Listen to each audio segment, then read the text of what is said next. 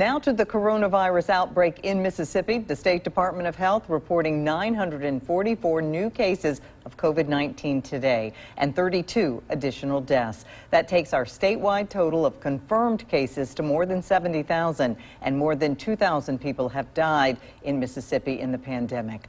On Monday, MSDH estimated that nearly 50,000 people have recovered from the virus.